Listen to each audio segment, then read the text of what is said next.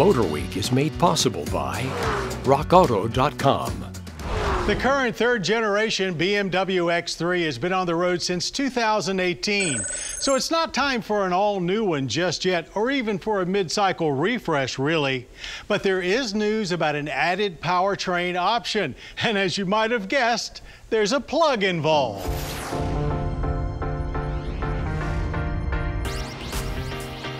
BMW already has a host of plug-ins throughout their lineup, but they haven't had one in their best-selling model until now.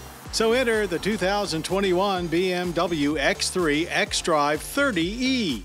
Starting with their well-proven 2-liter i4 turbo engine, BMW now tunes it for more efficiency, then integrates an 80 kilowatt electric motor into the 8-speed automatic transmission.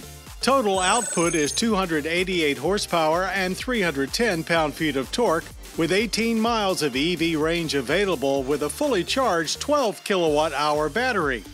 But as with most PHEVs, it's not really about ultimate EV use. It's more about getting the better fuel economy of a hybrid with the benefit of limited gas-free miles as an added bonus all delivered in a no compromise way as its power output slots it in between base X3s and higher output M versions.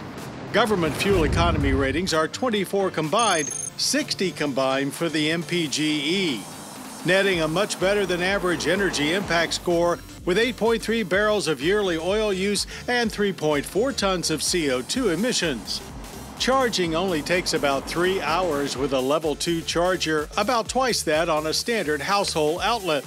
Batteries are packed mostly under the rear seat, but there is a slight loss of rear cargo capability, falling from 28.7 cubic feet to 27.2, with a max of 59.4. Drive modes allow you to select whether it operates as a hybrid or fully electric. But left to its own devices, it mostly defaults to full EV until you drain the battery or ask for full power. Monitoring is simple with lots of visual cues as to how all systems are operating.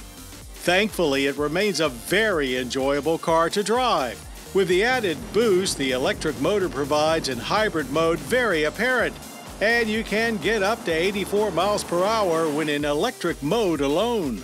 Acceleration remains very smooth regardless of power source. At the track, the xDrive 30e jumped off the line quickly and to 60 and 6.4 seconds, a tenth quicker than we achieved with the base 2-liter X3 we tested earlier. The automatic shifts quickly with a feel that's more sporty than luxury car smooth, staying solid and stable throughout the 14.9 second quarter mile, finishing at 91 miles per hour.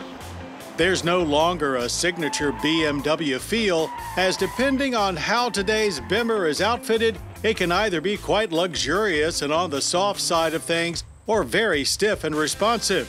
Here again, the xDrive 30e occupies the middle ground.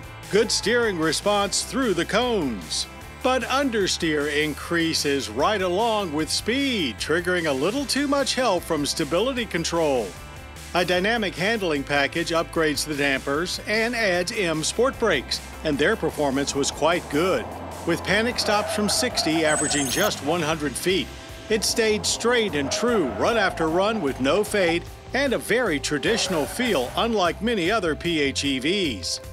Other than the xDrive 30e badging and an additional access door for the charge port, there's not much else outside the vehicle to detract from the X3's fantastic design.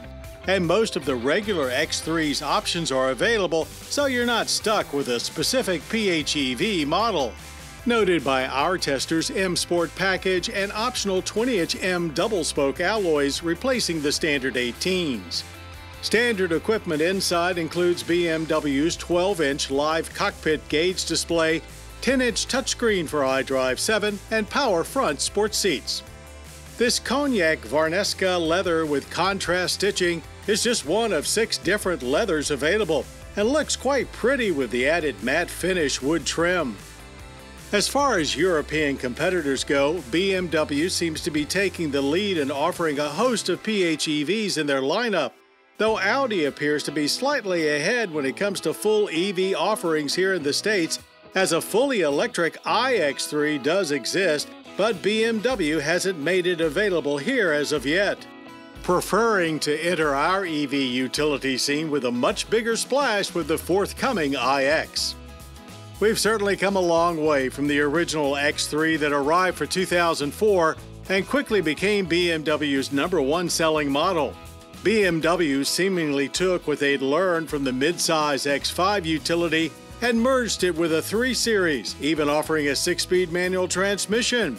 We called it a real street performer, one utility that declares its sports sedan lineage loud and clear.